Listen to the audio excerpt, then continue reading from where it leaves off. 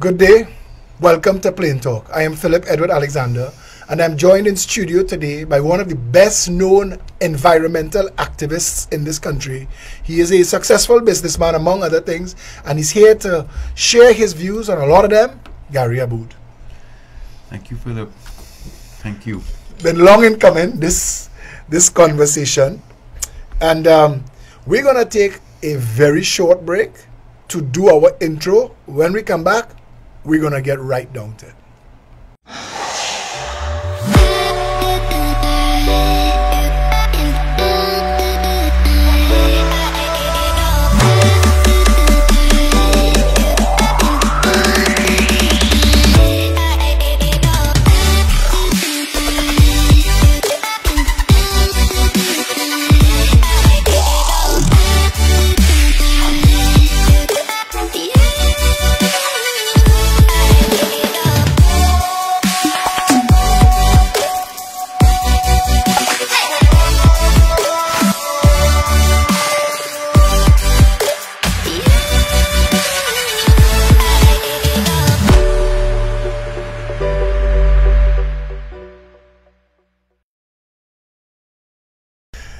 Gary Aboud. You're jotting notes like me. They're not going to have enough time in this hour. Why activism? But before before we talk, what I would like to say is that um, two things. I wanted to congratulate you and your supporters because I've followed almost everything that you've said, and there's a phenomenal amount of empowerment and accuracy that you bring to the table um, I think that is absolutely commendable. I've, I've listened and hoped that we could have more public commentary on a lot of the outrageous things that we take for granted.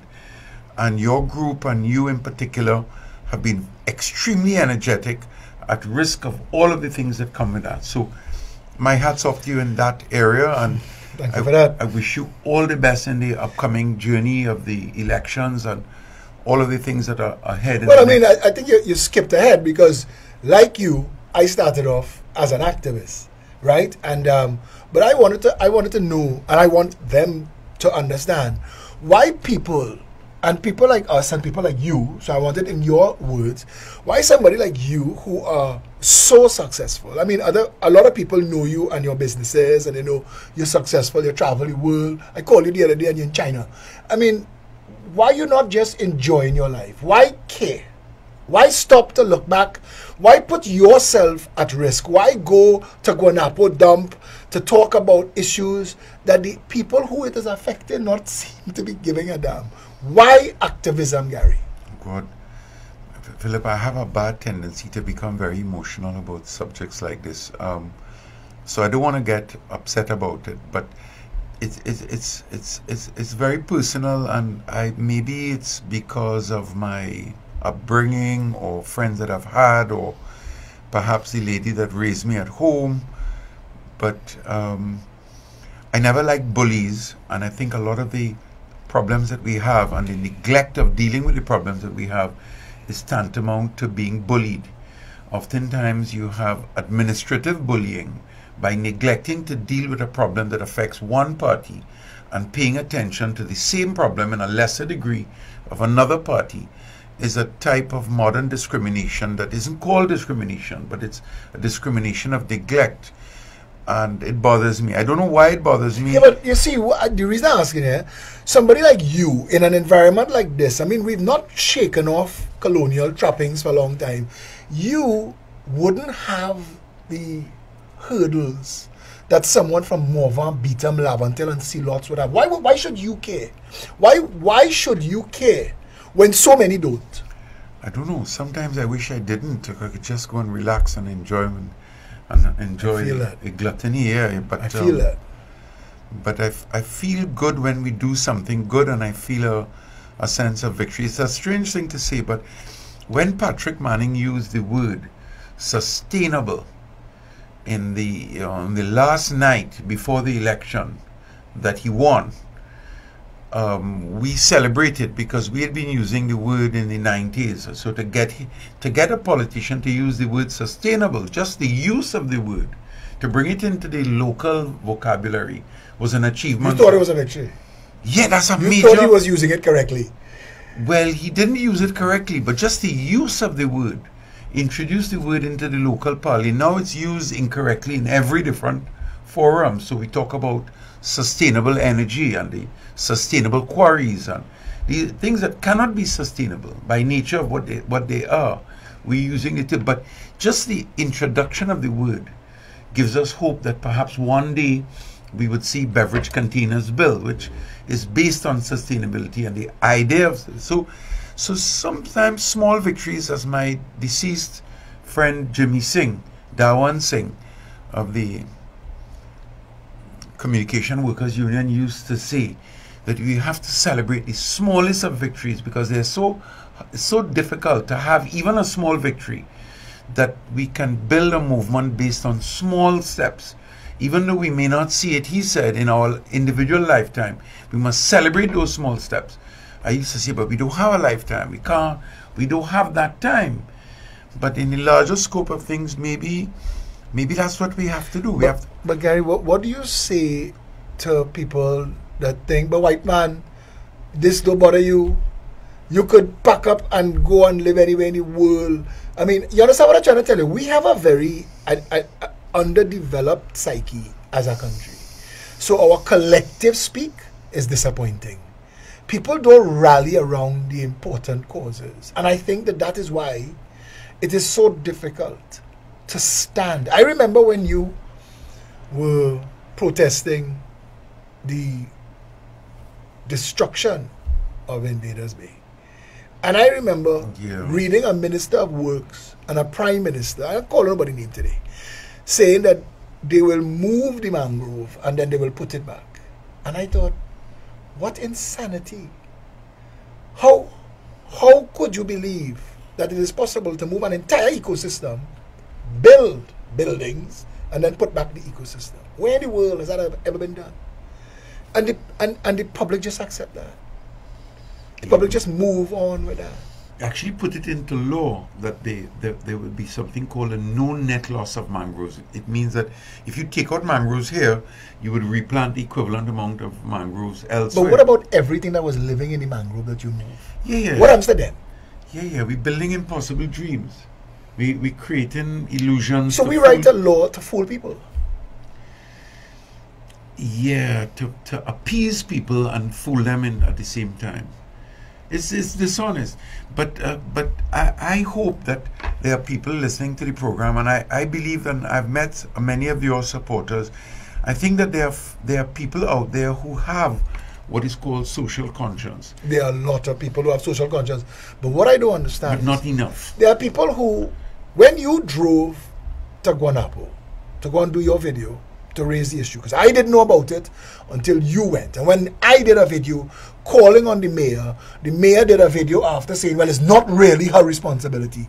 I wanted to answer her that the point that you were raising is that the fact that it was poisoning her burgesses is her responsibility. But I'm having that argument because if you're woken up enough to go and defend yourself, get involved. I have no problem with that. I'll take all the political attacks. I have no problem with that.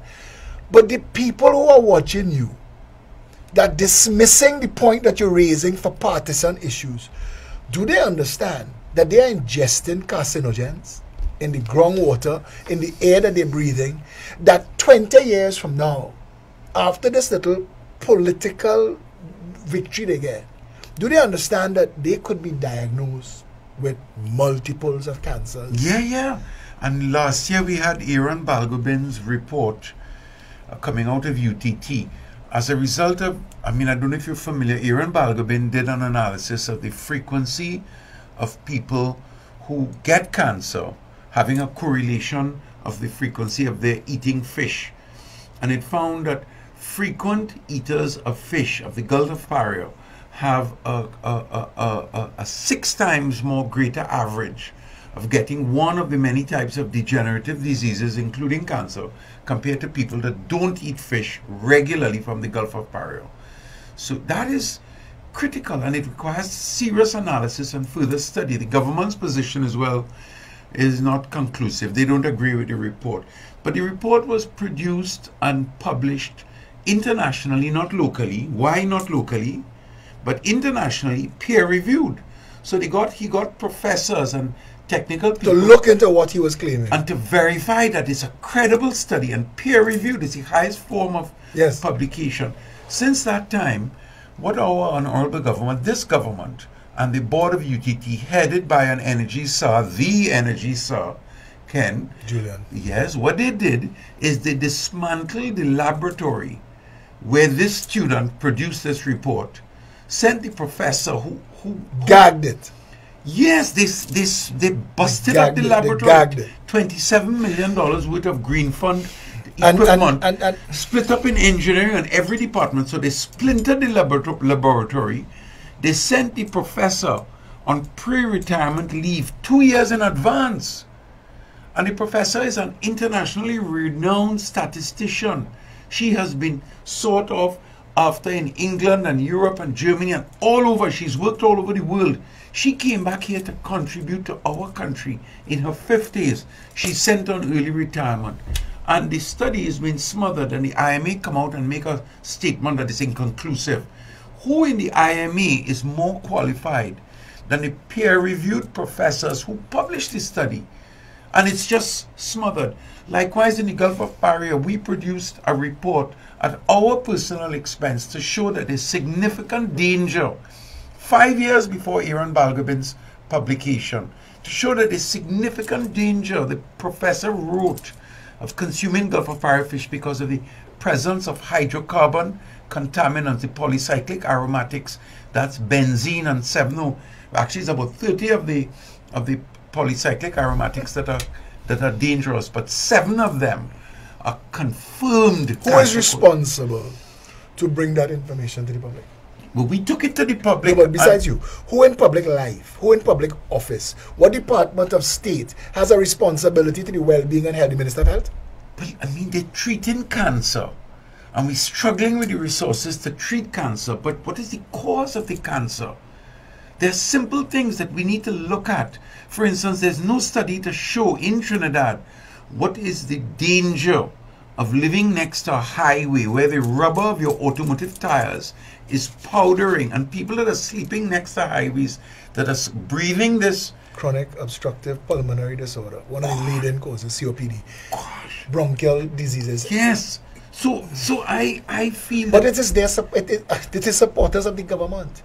It's supporters of the government that are put. I mean, I remember all these years when the when the, the dump in in Beetham keep catching fire, it's going to catch fire again. and you drive through that, and your windows up, and even with all your windows up in your high end vehicle, the scent and the is coming in your vehicle. yes. the people who live in across six Yes. six lanes of pitch who are breathing that as their normal Normal. what's going to happen to them check the f- frequencies of cancer rate. Um, back in the 97, there was a study produced by Dr. Hamid Farabi, who was, I believe, an Iranian professor at UWI, and Dr. Hollis Charles, um, who became professor, I believe. And that study was published in Jamaica, not here. They refused to give me a copy of it here. Then I got a copy of it from a Jamaican who ended, who attended the professorial lecture there. And what it did, it was a comparison. 97, it was a comparison between degenerative diseases statistics in the four communities at the back of the Point Lisas industrial estate compared to four communities on the north coast Toco, um, um, uh, um, um, um, Matelot, and another community. And so they comparing the frequency of degenerative diseases, and one of them, one of the degenerative diseases I remember, which was tuberculosis, was a frequency of 22.7 times more than than and then shortly after, like eight years later, there was so you're five times more likely to develop something like tb living in 27 times more. wow And then a few years later, when the Panday regime was in power, there was an entire fire station. There were 23 officers that got tuberculosis. Now, in tuberculosis. trinidad Yes, TB is real in Trinidad. No, but you're saying that an entire battalion of firemen yes, got tuberculosis Yes. because of location and environment. because of location and environment, And nothing's been done. nothing's been done to look into. And the villagers and the communities and the fence line communities of Point Lisas, nothing's been done to alert them to alert them to the danger that they're raising their children in. In a danger zone. There's never even been any discussion on it. We took the, the, the report and we produced 300 copies of it. We sent it to every office and agency, everyone who could be considered a who's who. If we got three acknowledgements of receipt, we got a lot. We need a lawsuit. We need a class action lawsuit on behalf of those fire services. Erin Brockovich, remember that name? Um, Julia Roberts had made a movie where they found water was because of contaminants from heavy industry. And in the negotiations around the table, one of the women who was speaking for the company that was supposed to be liable, they were having a marathon session in, in, in back and forth. And then she said, Look, there's no way for you to prove this. All of it is hearsay. We don't believe that the, that, that, that the groundwater is causing the contaminant. And Julia would say, Okay, no problem. The last couple hours, you've been drinking water from that stream. So if you believe that, you have nothing to worry. But she gave she ran out of the room because she was drinking the very water that she was saying that was safe for other people to drink. And, I, and I'm saying a class action lawsuit came out of that. And the people, and then there's Flint in the United States right now. And there are other examples of that globally in the civilized world. And Trinidad and Tobago wants to consider itself potentially a developed or a first world nation, or aspiring to be developed and a first world nation. But we cannot protect our public, our people, the government, whose only job is the well being of the citizenry they do not want to take the steps necessary to protect the people from environmental hazards caused artificially. Yes, we need a we need a, a, a litigation on it, but the, yes, The Progressive Empowerment Party has spoken about something called an environmental bill of rights. And I wanted to talk to you about that and people like you to say what should be on that bill of rights. I know Singapore now has a 50-50 green space law that you can't develop anything more than 50%. You can't move 50% of the trees. You can't cut down a tree without permission from the state. And, and, and I was hoping to get at some point, not condensing this interview, but I was hoping to get a conversation with you and others, like-minded people. E- e- Even if that's just one thing that we advocate for, if we get enshrined into the Constitution an animal bill of rights and an environmental bill of rights, we could start taking positive steps towards becoming a first world nation. yes, yes. The big challenge is to get our people empowered, not just three percent or five or ten percent. How to get the whole nation empowered so that they see beyond the political landscape into a nationalistic landscape instead of being yeah, sectorial, be national. That is something that we haven't succeeded at because people are divided. When we came, you've asked me to come on this program over the past six months at least six times, and every time I've asked members, they say no because this is a political forum. So when I came here, I was instructed over and over, and I'm going to take the opportunity now to say that we are non-aligned. Although in my personal capacity, I support the work that you've done. I'm not a supporter of the PNM or the UNC or the No, but we don't bring people here looking for support from them, you know. No. What I do, This- what this- this show does, is that we look for critical thinkers in everything, in in in the economy, in finance, in environment, in healthcare. We bring the heads of the police service, the fire service, the prison service. We've spoken to all three. We bring ex-parliamentarians, and we want to get to the root as to why this country fails. I say nothing works in Trinidad and Tobago. And we have now a, a library of interviews of people like your good self who I don't care what's your political leaning. I care what is your consideration for Trinidad and Tobago. Yes. Because at the end of the day, we could call ourselves what we want. If the collective ship sink, red jersey, yellow jersey, green jersey, orange jersey, wet. So it doesn't matter. And I keep asking the question how do people allow the brainwash into thinking that half a ship could sink and the other half could go its merry way. It's a physical, technical impossibility. But we allow it. We're lazy thinkers. Gary, we're lazy, lazy people. We're selfish. We're driven by immediate grat- gratification so that we don't think beyond the plate and we don't think beyond the bed. We don't think beyond what I want right now. That's why our transmission of HIV is so high. Because we don't think beyond what I feel right now. And that's what keeps us as a little Neanderthal colony.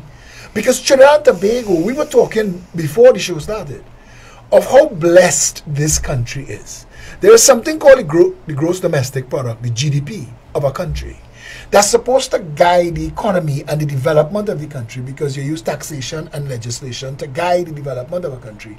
But the income is the foundation. When they talk about the treasury and the treasury empty, there's no room nowhere full of money. There is a cash flow. There is money in and money out, like a normal business. There are the, start, the, the recurring expenditure of running Trinidad and Tobago and all of the opportunities to make money. When I tell Trinidad and Tobago, we have Caroni Limited, when Manning and Rahal shut down Caroni Limited, how long ago was that? Let's say 15 years have passed. In those 15 years, Caroni lands have been pushing up razor grass, bush, and a couple cineplexes. But it's enough land that we could have planted mangoes, guava, avocado, soursop, breadfruit. Those are very hardy, sustainable crops. Those are crops that will bear for 50 to 75 years. Mango, Jamaica making millions with mango. Um, avocado, Mexico makes 1.5 billion US a year just shipping avocado to the United States of America. Trinidad Tobago could be earning money. A guava has five times the vitamin C of an orange. A breadfruit. A breadfruit could feed a family of four for little or no money. It is the only starch that is low glycemic, so it stabilizes your sugar in a country that has some of the highest diabetes counts in the world. We're not having these conversations. We drive through and look around this country as if the devil could take tomorrow. And it seems the devil here. Yeah, well, the devil is alive and well. As you, you're touching on point here, I want to in, interject and say something. The energy conference is taking place right, Right now. now. Right, Right now. now. There were a few a few years ago we were invited to speak at the energy conference.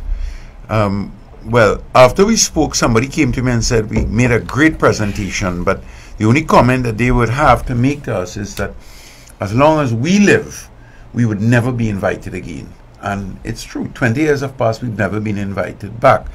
Today, however, we got um, five or eight years ago, we got invited to sit on the Trinidad and Tobago Extractive Industries Transparency Institute, which was secretly set up by the World Bank because the World Bank have such a bad reputation, they don't want to be seen to be Involved. involved.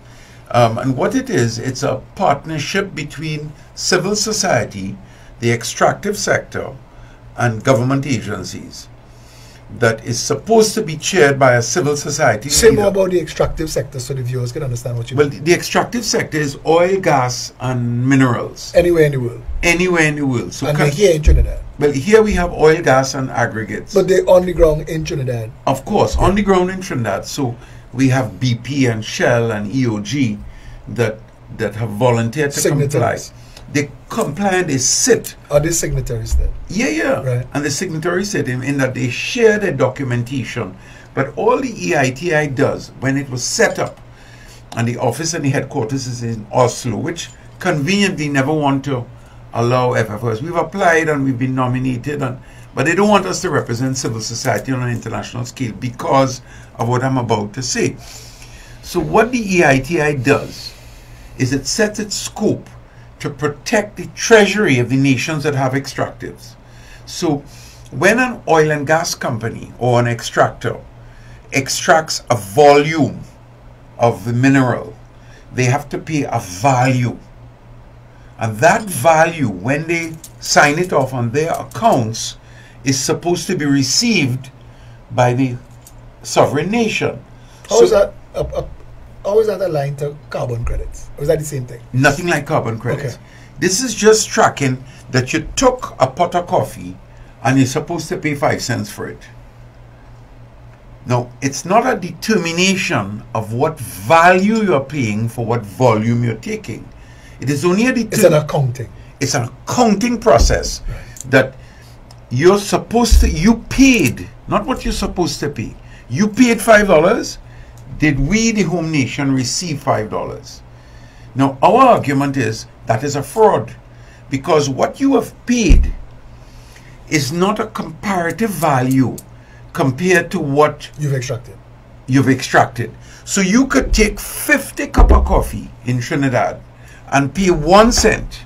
But in America, you take one cup of coffee and you have to pay 10 cents, which means that the US will be paid 20,000 times more of a, of a value For their resources. for the equivalent volume. Right. So that is what we started on the EITI for. We want to know what value we are getting for what volume.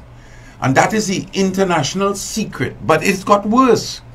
It got worse because we got the EITI to report on particular things that are occurring that we and all didn't even know. For instance, the quarry sector don't have anybody determining what volume they are taking out. Nobody checking to see how much they take. All we are checking is to see how much they paid and whether we receive. But how do you determine what they're supposed to pay? Bringing us back to sustainability. You know, bring up, of course, like my good friend Fitzgerald Hinds, who liked to grand charge Rastafari. He's a good guy. You know, he's a he's a roots man. He is a lifetime member of the Quarry Association. They appointed him as a minister of works, responsible for monitoring what they are taking from us. That he's a member of. Himself to himself. He's a lifetime member of. Trinidadians don't understand the contradiction of those things. So it gets worse than that. They owe hundreds of millions of dollars in royalties. What if they go out of business? Declare bankruptcy. disappeared. It's such So a mess. Who gets that hundreds of million dollars? They can't recover it again. It's such a mess. Gary. But Fitzgerald is a lifetime member now. So he is a member of the organization That- that the government is supposed to be overseeing. that he is supposed to be overseeing himself to because he's the minister of works. So Well, and that he is patronizing because the Ministry of Works is purchasing a lot of things from the Quarry Association, all their roads and materials. But it gets worse than that. The Auditor General seemed to have, you know, sometimes a thought can develop in different places around the planet at the same time. Well, the same thought can develop in different offices at the same time. I never knew, never spoke to, and would love to meet the Auditor General. But for the past four years, the Auditor General has been saying in his annual report that this country, he, as the chief accountant responsible for determining what we get into our treasury, he does not know how to evaluate the royalties There's no there's no formula. for, for oil and gas Yeah. because no one in the Knows. ministry Correct. is checking And I've asked how much oil and gas they take. But I've asked this question. But this- I've asked this question before, Gary, and I want to ask you. I want to ask you, who knows which Department of State is aware of how much of our mineral wealth has really been extracted over 57 years? Well, the oil and gas companies. No, we're talking about in our country, in our state. we accept this went to parliament with Botuari asking questions and the people from the ministry of energy admitted that there's no verification but the auditor general himself said for four years running so it means that when So we could have had a hundred times the money for our oil and gas that we've had. We could have had a thousand times. We don't know. There have been rumors. it gets worse than that hmm? it gets worse and worse and worse Doc, it, it, i mean it just I'm just saying it's that, just that if Trinidadians only approach the conversation from money, I want to keep bringing it back to money. I want them to understand this. That everything that's wrong in this country, when you raise it as an issue, they raise the issue of money. And money, if money could solve all of these problems, and our money is being stolen at the tap before it even reached the treasury. Yes. So you have a budget and you say $60 billion and half of the $60 billion is stolen. Yeah. I am saying that 60 billion should be 300 billion dollars. We do not have an idea of our actual Yes. income. that's, I, I would say that's a fair assessment Somebody told me that 10 years ago, an oil industry professional who's now based in Dubai. He told me that because he was based in a multinational in Trinidad and Tobago. And he told me that, and I published that. And government ministers at the time said it was a lie. I said, if it is a lie that you cannot prove how much oil and gas is extracted from Trinidad and Tobago, then prove it. Then say. Because that's all it takes. Tell us one barrel is sixty dollars, and we put out ten thousand barrels. Don't tell us we were paid for ten thousand barrels. I want to know how many. There's no verification of the tap. And that's what the Auditor General is saying. So when So that's what was at the at, at the basis of what just took place with AV oil. And somebody said to me, AV oil is joke. it's joke. It's joke. The whole So hundred million dollars And- is joke. And I am arguing to you that this Prime Minister and the last Prime Minister are fully aware of it. Both of them. Both of them. And the Ministers of Energy. And they let it pass. They try to deal with it, but it's too big. The system is too big. And the, and the energy companies finance the political parties, the mainstream political parties. So that we lost. We lost it. And the people in the country are so div- divided that they don't seem to care. As long as they're red or they're yellow gets into power, they can keep as much as they want. And there's even a large sector, more than 50% of the country, that believe corruption is okay.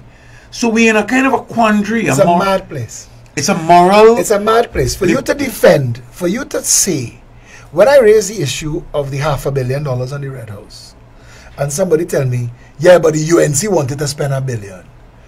I had to say in an interview on 95.5, don't tell me what UNC stole or could have stolen as a defense for what the PNM is stealing or could be stealing. Yeah, yeah. We need to stop it now. Yes. Nobody should be stealing. Yeah, people tell me that all and they say, yeah, but they're stealing less than the UNC.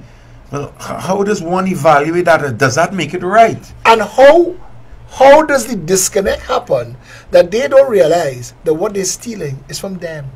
How do you get Trinidadians Yeah, yeah. to understand that their children should be wealthy? That the average person in Trinidad should be worth a lot more money than they would now. That we should be one of the wealthiest nations on planet Earth. We should still be. We should still be. We should be leading the world in industries. This dot in the sea. This dot in the sea. If other countries had the pitch lake that we have, it would be on the cover of National Geographic every month. But instead of us monetizing and, and, and maximizing the potential of that facility, we have government after government taking pocket bribes to sell it Yeah. on behalf of the people. Come and loot your pitch lake and sell it to somebody else. Fishermen friends of the sea, we have a nylon pool. Gary, does anybody else in the world have a nylon pool? If the Bahamas or the Virgin Islands had a nylon pool, they would have shows on Discovery Channel about the nylon pool. It's a wonder of the world. We don't care. We have boats dragging anchors, killing the reef in Tobago. Nobody wants to put floating jetties to facilitate both the tourism and come back to your word sustainable. Come back to your word sustainable. We live in this country like Trinidad is one big dead buffalo. And all of us are hyenas and vultures and lions and wolves and everybody just come in to take their bite. At some point, the carcass will be empty of meat. What do we do? In my opinion, the fundamental problem we have in Trinidad and Tobago is an individual problem where people, our people here, seem to have lost their way. I'll give one example. 20 years, 25 years ago, I went and I studied um, for one month. I did four separate programs, intensive programs, only in which mainly which were graduate students or senior government personnel.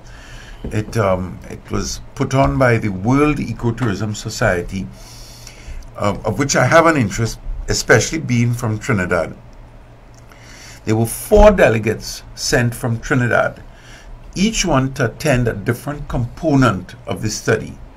One of them was Sita, who I still maintain a friendship, but and she attended more classes than anyone else and then got very ill and so missed a lot of time. But what was really interesting is that the Trinidadians who were sent, senior government administrators sent to this to this training program at tremendous expense, staying in, staying in 300 US dollar a night hotels at a time when I was was was actually scrunting and didn't yet start my business. But nobody attended class. They would come on the first or the first and second days and they would leave at the 10 o'clock recess and not come back for the rest of the day. And then didn't even attend the full week. And here they were being sent to study this global, this new emerging tourism market, this ecotourism, which is the most beautiful, least alienating form of tourism. Sustainable. In which Trinidad and Tobago is particularly well positioned. And they never they never attended the class. So the tourism, ecotourism product of Trinidad, of which the nylon pool would qualify, has just been left to run on its own course.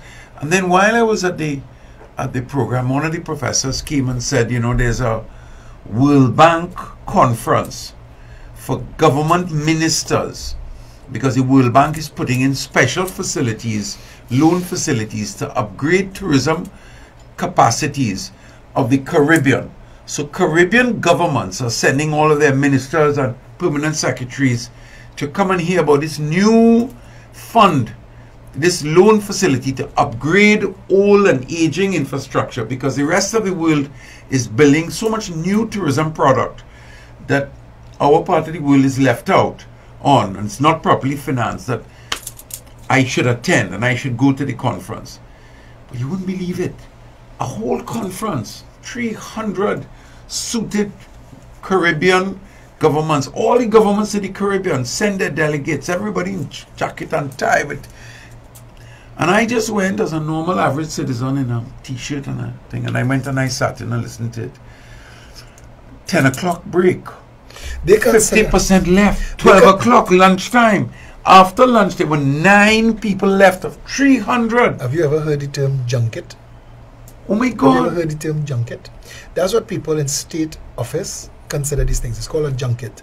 A junket is you get sent to a seminar somewhere in the world. You don't go to the actual seminar. You go to enjoy yourself. Oh So you, so the state spent money sending a person to educate the person, and the person comes back without the education that they went to get.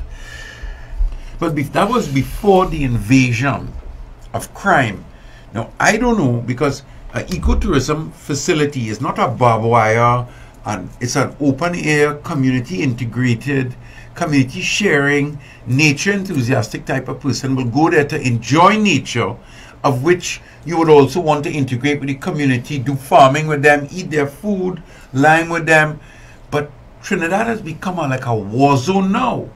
So I don't know. The latest actual report from the tourist sector literally lists Trinidad as the most dangerous place in the Caribbean. Don't go there. Oh gosh. Don't go there. And that is ridiculous because Tobago should be the number one tourist destination on the planet. There is nowhere as beautiful as Tobago. Well, Tobago's, and- and Tobago's nowhere- Pigeon Point jetty with the hut at the end has become iconic. It is a symbol of wealthy tropical destination. And, and what's ironic is they use that image but don't go to Tobago.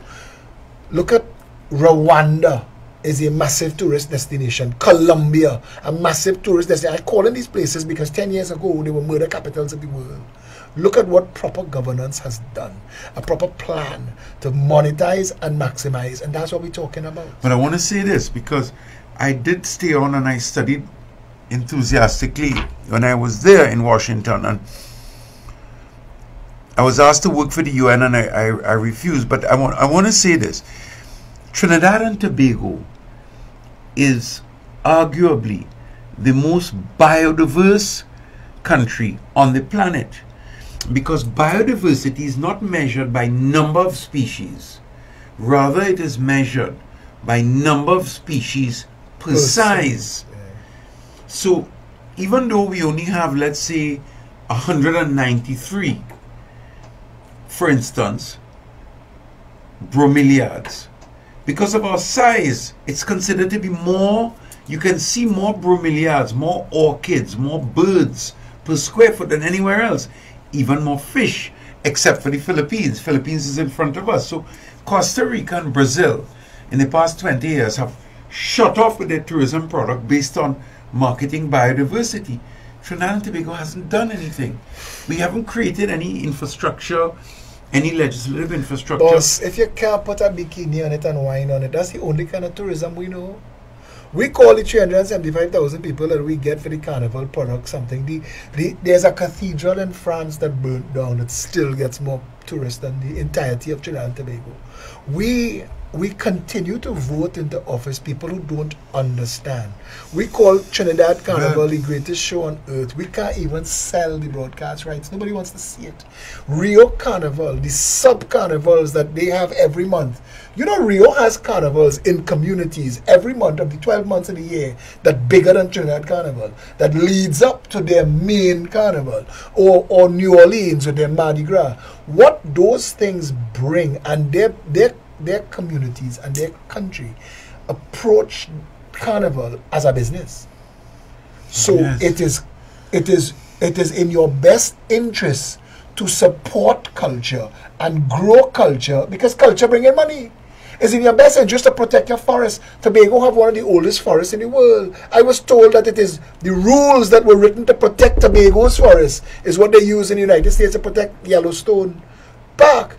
We don't even know the things that are here. And we will find out after they're gone. I was fortunate to have walked through the ruins of the sugar mill with the big wheel in Tobago that they let burn down. I mean, when I walked through it, nature was reclaiming it. But it was such a marvelous experience. My children will never see it. Yeah. And they will never understand. You step back into history. I want to say something. I have an opportunity to say it now. Because you mentioned Invaders Bay, and I'm seeing a correlation between Invaders Bay and the Aripo Savannas litigation.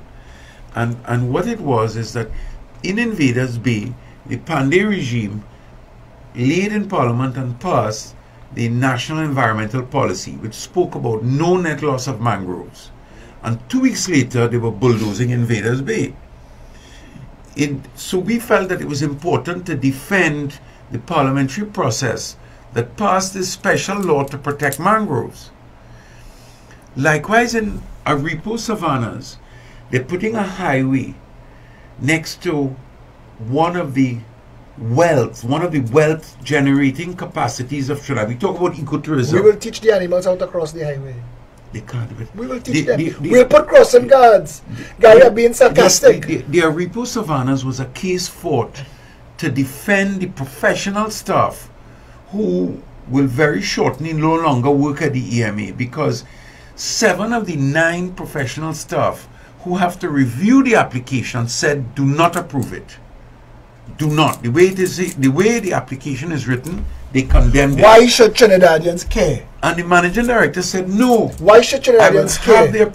They're looking at Gary Aboud as obstructionist. Why should I feel like a channeling Fazeer Mohammed there? But why should Trinidadians care when they're looking at it and the government and the PR people saying we need this highway for development? The hell with the hairy blue. But they don't understand. There's no traffic that's going to be alleviated. It's going to create a shortcut that everybody who goes through the Valencia bypass the Valencia bypass already solves the problem, problem. if you're going yes. there. All they need to do is to widen that Valencia stretch to, to channel that, that traffic into the Grande area and to bypass it around Grande because the bottleneck occurs in Grande. Taking this highway from Cumuto, which only has a few hundred people living, and the road to get to the Cumuto to that Aripo Savannas, you're going to have to put major road infrastructure in an area that doesn't have a population. So why are you putting in all that infrastructure and why should Trinidadians care about the environment? Why should they care about the animals? Why? Because that's the question they're going to ask. And, and, and that is the insipidity of this country. That we don't understand that tomorrow has a value too. It's not just now. So we will hunt all. If they tell us you can hunt and kill and eat all, we'll hunt and kill and eat all. We, they, we. They've done us something as a people, Gary where people don't care about each other. We care, but we don't care. But the country wants development. And we are supportive of development. We're not a tree hugging NGO, but development should occur in a way that is truly sustainable in that wealth will Singapore, be created. Just passed the United States of America as the most econo- um, competitive economy in the world. I want to say all of this so you understand me. They just surpassed the United States of America as the most competitive economy in the world. It is half the size of Trinidad and Tobago. They have 5 million people living there and they have more sustainable um, environmental policies like the 50-50 um, green space rule. So I'm saying to you, all of the things that we want, we could have. All of it. We could, Trinidad and Tobago's population could be 10 million people and we could live in harmony with the environment. The country is is is is run like a I don't want to say like a parlor. People in parlors know what they're doing. The country is run by people who come into office representing people who want to build about nine big projects so they could come out of the five years with a billion. Because that's the goal. To go and sit down on Miami Beach and clink Prosecco I- and I- pretend I- they're successful. I grew up on Mervyn D'Souza and Francis Prevatt and John O'Halloran Sam P. Wallace. and Eric Williams and yeah. Do you know that the Justice Department in the United States, Trinidad and Tobago, and Sam P. Wallace was a test case that made the law? Trinidad and Tobago, Johnny O'Halloran and Sam P. Wallace, and and the and the um, Caroni Racing Complex. Do your research and you'll find that this country's notoriety is global and far-reaching. Your work as I, I, I grew up on PNM corruption. So I was a supporter of the ONR, but I was more of a supporter of an alternative to get away from the corruption. I didn't know what the ONR would bring. That was Karl Hudson-Phillips. I didn't know. I didn't know them. I didn't really know enough about them. But they promised something different to the corruption that we lived in, that we grew up on. Trinidad and Tobago has not evolved from that corruption. We went from the PNM into Panday, and that was a disaster. We went back to the PNM with Manning and back to Kamala, and everybody knows that was a disaster. Now, where are we going now?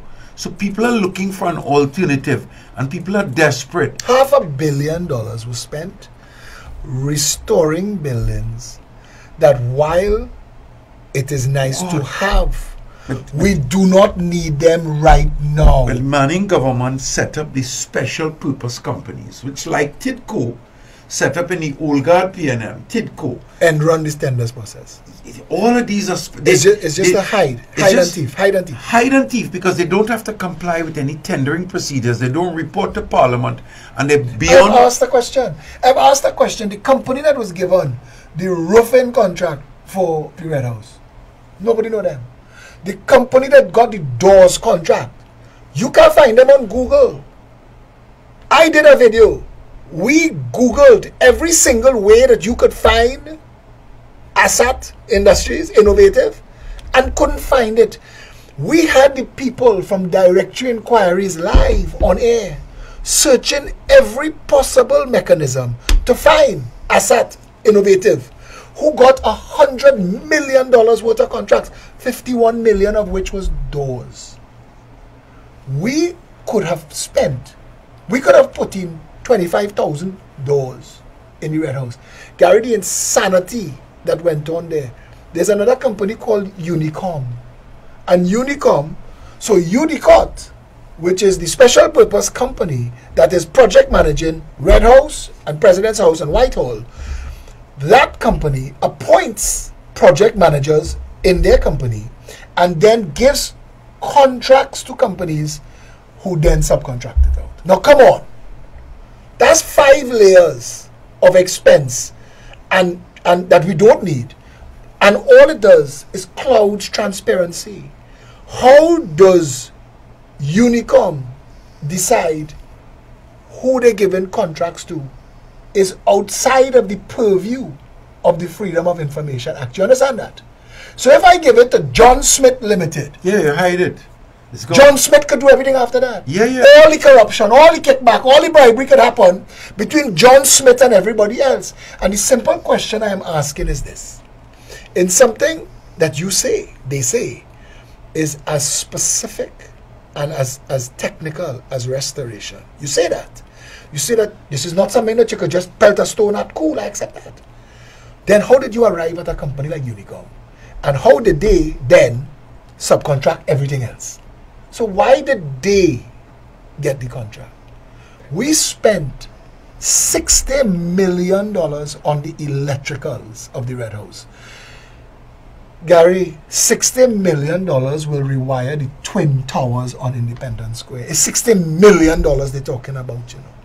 That is the insanity that is taking place in this country. And what you're talking about here just now, raising that issue of these special purpose companies, EFCL, EMBD, on the corner of Tragarete Road and Polkaru Street, there is a school that used to be, that was there since 1903, Woodbrook Presbyterian, the children's school. And the completion date on the board is 2014. It is 2020. We're no closer to it, and it is managed by the EFCL. If I go to the EFCL, the Freedom of Information Act, request, and they tell me, we gave the contract to John Smith, there is no way to pass what John happens Smith. after that. So it brings me back to what I'm saying because, in support of, of your point, is that when I was a young man, we hoped that the ONR and then the NAR would solve the problem. We hoped, and they didn't. The solution is not to depend on the political change. The solution is is that every citizen is responsible for that change. All of us. Absolutely. And your listeners need to take that message home and to talk to other people because a lot of your listeners are listening in an armchair approach for those that have stayed this long. And they have that distance approach. Well, Phillip is thing they are not Gary dealing with the environment. We can depend on them. It doesn't work. It doesn't work like that. They sit down and they eat their popcorn and they win to see And what's they're on they're looking at a show. Yeah, it's entertaining. Yeah. People need to get up and get out there to inform themselves, to spread the word, and to live the life of integrity. I have made bad decisions in my life and I have lived with them. But I've made good decisions as well. I have been offered corruption in my life, in activities that I have been doing that I accepted and couldn't sleep for months later, and months later call and call it off, and slept better than ever. And those are the personal journeys that, and I'm not judging anybody for being corrupt. But you have to. What are you saying? No, Listen to me now. people can redeem. No, no, no, no. Yeah. People can redeem and repent. I am a full supporter of redemption, and I'm. yeah. But, but but but as the Bible say, confess and sin no more. confess and sin no more. And I think, I think for me, if I had done that million dollar deal that was offered to me by the Tobago House of Assembly on a property that I was selling in Tobago that they were willing to pay double the price for, but I had to pay the kickback. If I had accepted that, I don't think I could have accepted to come here today. No, because you wouldn't have the moral authority anymore. If I wouldn't a, have the moral if you have a conscience, it would it would it would fight you. So I have to say thank God for them for approaching me with that I wanna tell you this- because I wouldn't know myself. I know. Oops. But but at the same token, I know. At the same token, if someone has accepted and gone down that road, I still think you could redeem yourself and come back into the world. You could. But we have to help each other. We cannot attack each other. We are, we are still all here together. So we have to be able to come forward and embrace the worst people and encourage them to be better people. Because otherwise we'll have civil war. Because 60% of the country are in support of corruption. That's how to get things done. I was on a flight coming back from overseas and I'm talking to the flight attendant. One of them is totally against corruption. One of them husband is a contractor with WASA. And she's saying, yeah, well, how the country will run without a little corruption. I don't read it. They, they've been compromised. They wouldn't get work with WASA unless they're corrupt. You can't get a more corrupt entity than WASA. And look, we cut. Do you know we are paying six hundred million dollars a year for WASA from Desalcott? Why should we even be buying Desalcott water when we are throwing away water from all of our freshwater rivers? The water could be dammed and channeled and sent back into storage. Talking like a pepper now, though. eh? Listen, we said that. We asked, how did we design a water management system that catches the bounty of rainfall to dump it in the sea? Who was the idiot? Who was the idiot? Who is the idiot that allows it to continue? Us. Us. You just said something about rationalization. Wayne Dyer said, when you rationalize, you tell yourself rational lies. And like your friend who said the country need to have a little bit of corruption. That's bullshit. You don't need any corruption at all. What you need is proper management and everybody get the opportunity to maximize their full potential. But cheaters need corruption. People who don't think that they could make it on their natural ability, they need to gang up against the rest of us and they need to use public office and access the public office because that's a big thing now, you know. A big thing now is to be a financier. You're out in the parties and you're boasting which minister you have in your pocket, you know, in this dot in this postage stamp. There is an Air Force base in the United States bigger than Trinidad. One man have the contract to mow the lawn. We, in Trinidad and Tobago, we live like there is no tomorrow.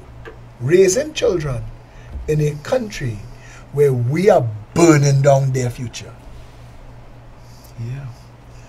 But it could stop if your audience spreads the story, talks to other people, say, look, we have to do something. But there's that disconnect. And I don't know when I was a much younger person and we started FFOS, we thought and we hoped that there would have been a landslide of morality and public participation. All idealists start like that. I know how that feels. Yeah, and I still think that it could happen.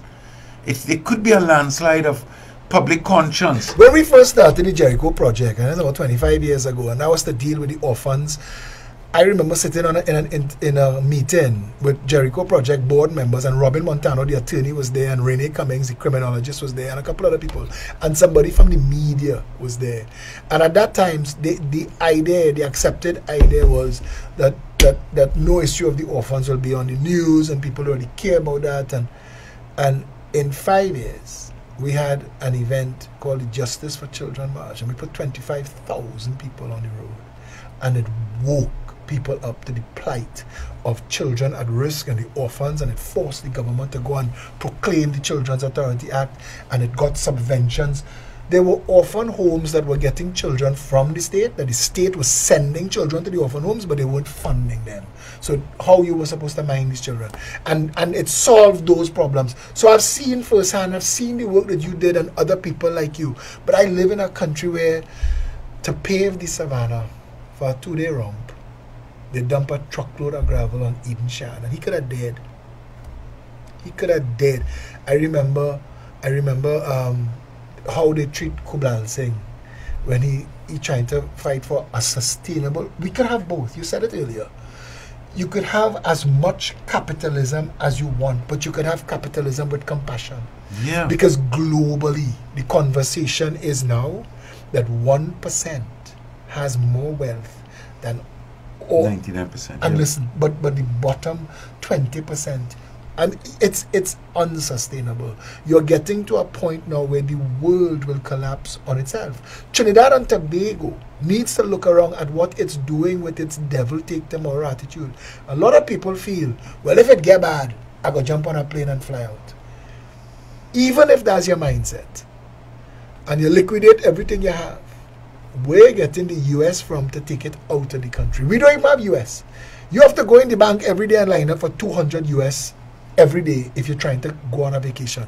So if you're trying to liquidate to fly out to Trinidad and Tobago, you're going and start over somewhere. Forget the liquidation. You're going to work in a next man country. And if you don't have a green card and you don't have a citizenship, then you're going and work under the table to take under the table abuse, to take under the table money, instead of stopping and thinking because it's not easy outside there if you're starting over and you're hiding from ICE, the immigration um, people. We, the people, you said it just now, and this will always be the reason and the rationale, rationale that all of us together, if we put aside our we, I mean, yeah. Brother Marvin said it well. We are a brotherhood of the boat all of us, our ancestors come here on a different boat from a different place for a different reason. Some was kidnapped, some was hoodwinked, some was running away. But forget that. We here. This is our collective condition now. If we burn it down, because I watch my father, my dad, he's in his late 70s now, but he had um, encephalitis and he had to have surgery. So, but I tell people this same man 10, 15 years ago was jumping over walls. He could have run and played. No, I have to hold his hand and, and, and he had to walk with me. And And at some point, we all get to that place. At some point, we all get too old to do, and somebody else. But we have to then live the consequences of the nation that we left behind. Even if you're the most selfish fool in the world, you have to think about how will I survive when I am a very old man in this country? Last night, a police officer called me. He in tears. His mother had a heart attack last night. She lives in Couva. Rush her to the Couva Health Facility. The Couva Health Facility can't deal with her. They pack in two ambulances of humans to ship them to San Fernando Hospital. They're waiting for the second ambulance like a maxi taxi, waiting to be full to move. This woman have a heart attack. Eh? Reach down into San Fernando and their emergency room in a mess. And this woman sitting, waiting to be attended to while having a heart attack in a nation that we are spending $5 billion a year on public health. This is ridiculous. I'll continue like this, Gary. The message has to be you've been doing this too long. And, and, and I think that you've earned your stripes. I think you've earned the right to say to Trinidad and Tobago because you've sacrificed a large part of your life that you could have used publishing what you're eating tonight, showing pictures of every fetcher in, selfies from, from on the dance floor. You've used your life, your limited life, the, the thing that you can't replace, you've used it fighting for issues that affect all of us. Shouldn't Trinidadians and Tobagonians, because they just watch the government that tried to heavy hand me over the president's house and the Red House, who promised me five pre-action protocol letter, letters, are now backing off and giving the public releases because the public stood up and said, eh, eh, we're not accepting this one. We're not. They're not accepting those numbers. And the Prime Minister felt a pushback that he didn't expect. That and, and I asked Trinidadians, we fought for Jumbo when they threw Jumbo out the Oval from selling his peanuts. Remember that? So that Sunshine Snacks alone could sell. And and the country pushed back. And next thing you know, Jumbo get a nice contract with Sunshine Snacks and everybody happy. Trinidadians need to know their power and they need to use it for each other and for this country. That has to be your legacy and people like you. Lincoln Myers, you remind me of Lincoln Myers. Lincoln Myers who died. Raoul Pantin.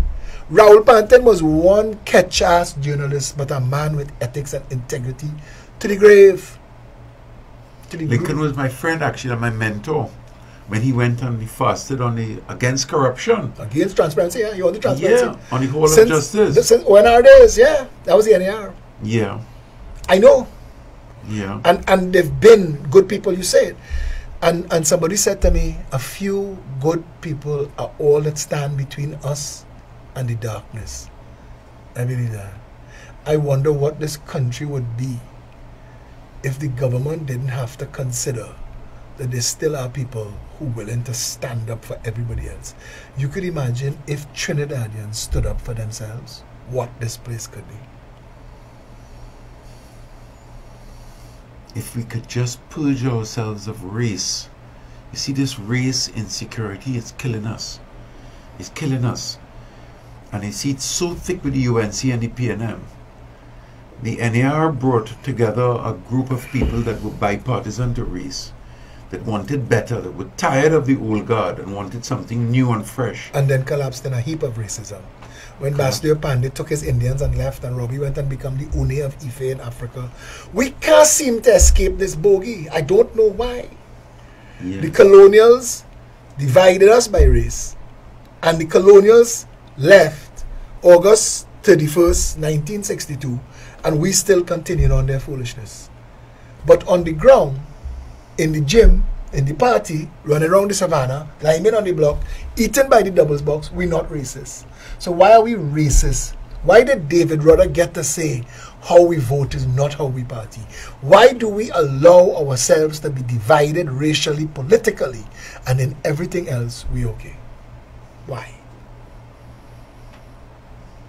I can't answer can't answer and I don't know what the end is. Perhaps we need to be threatened by something that could be a common threat that could unify us into one. I, I don't know. There's a mystery that we face. It, it's the quandary that we face that's keeping us back. We don't have. I remember I met when um, when the Manning government was doing the smelters they brought in a whole bunch of European and international experts to have a, a conference, and I attended at that time with um, a person that I no longer associate with, but um, there was a guy from Norway who spoke. And after he spoke, I went and I spoke to him privately and I said, you know, it's an amazing presentation that you've given because it sounds as though your country are all in favor of the aluminium. And he said, actually, no, we're not all in favor, but we have conflict. But our conflict is always leans on the side of what is best for Norway. We don't have a division. When our parliamentarians sit, we have different political parties, but they are all nationalistic. They all want the best for Norway.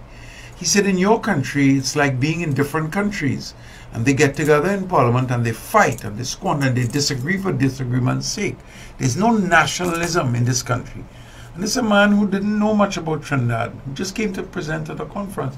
And it rang home because I agree and I followed Norway and the Norwegian model of development and how far they've gotten with so much less oil and gas than us. And they have a standard of living that's 10 times higher than ours with free everything unlimited limited the best education, the best hospitals. Because they weren't creating millionaires, they go and clink glasses on Miami Beach. That will continue to be the problem. That we have a rogues gallery, alluded to it, of, of each government that come to power, there was one defining project that you know they stole money with that. And names come up that these people stole our money. I yeah. would like, as a prime minister, to go and meet with Justin Trudeau and say, boss, you see them towers in Scarborough in Toronto? Johnny O'Halloran stole that money from Trinidad and Tobago. This is the evidence. I'd like you to return our property yeah. Us. And I know his grandson, his grandson travels around the world first classes on a permanent holiday. That is cursed money, cursed wealth. I, I can't understand it. And likewise, today you have children and grandchildren of all kinds of corrupt families. I don't want to call names, but they're so well known and they operate outside of the radar. Gary, if they put me in the parliament, the first time I stand up in the parliament, I will name every name. I want you to hear me say that. We cannot continue on as if what happened in the past doesn't exist. Doesn't exist. From September 1st, 1962 to now, an accounting has to take place and somebody has to lead that accounting. And I remember we had settled the Tesoro matter and Shell matter and that's what precipitated, or so they say, the 1990 attempted coup. But Robbie wasn't the right man for them because the right man for them would have put them in a cage or put them in a box. You need to defend this country. You need to defend the people of this country, even the people who've died and gone to their grave in poverty and squalor and suffering because we've had corrupt white collars and parliamentarians and public servants and unethical professionals who only thought that access to public office is a chance to feather their own nest and enrich themselves. We need to undo that. The rest of the country going forward, the nationalism you're looking for, they will believe in that flag. If the government gives the flag, the authority and the respect it deserves. We say one people under one flag is the only way to get rid of that racist bogey that you're talking about. That's what we need to unite as with common purpose. Make this a better country for everybody. Like a rising tide lifts all boats. That's where we need to go. Give me your closing comments. My closing comment is that you have a good chance to get into Parliament. I hope you do. Because even though it's, in my opinion, 60% of the country condone, accept, and even support corruption, if you could solidify the 40% who are God fearing and have a public conscience and a personal conference into one unified body, that 40% could beat the 60 because the 60 would be split in two if you could solidify a, a, a, group, the moral, a moral majority, who might be a minority, then then there is a hope. Um, so I wish you all the best. I think you've done a good job. I hope that you would allow me to say this, that I think it's very important that we recognize that we live in a conservative society, so it's important that we are gentle in our ideas because people can't take people, a lot of people are old, conservative, and very quiet, quiet old people, and very conservative, and they're afraid of too much of a rocking boat. So we have to be very gentle in how we coax them into. I feel like that in my life because oftentimes you go into court on a battle and the, the judge actually don't like us because we've jarred the judge. But we it's a difficult balance because we believe you have to jar the society to wake up on the one hand. But if you jar it too much, then you offend more than you would a week. And so it's a, it's a difficult balance. I wish you all the best, Phillip. Wish you all the best. It's a, it's a lifelong journey on, and I hope I can be of some support. Thanks a lot for that, Gary. That was hopefully the first of many conversations we're going to have. Gary Aboud brings to the national conversation a lot of we- a wealth of knowledge, but he also brings decades now of sacrifice and experience. And he is a living example. He carries he walks on the shoulders of giants that he named in his conversation. But he represents and people like gary represent and and in a perfect country it is the people who are willing to set aside personal interests for national interests that are going to make the better country that we're all looking for. And i am hoping that people like gary and others like him are the examples that the young people especially looking on choose to follow and emulate with your life. Having wealth ostentatious wealth is no benefit to you if you're not happy. If you're living in a country where everybody full of fear, you drive out of a gated community, the minute the gate closed behind you, you're in danger. What's the point? Let's get together and fix the whole country so we could take out the burglar bars from on the windows so that nobody have any interest. They have countries in the world. I, I, again, I want to go back to places like Japan. Businesses don't close their doors anymore because nobody have any interest in stealing. Could we get there? Absolutely. We have more good people than bad. Our majority of our our good majority is a silent majority. And again, we need to flip that script and change that. Thank all of you for watching. This has been Plain Talk. Stay safe, Trinidad and Tobago.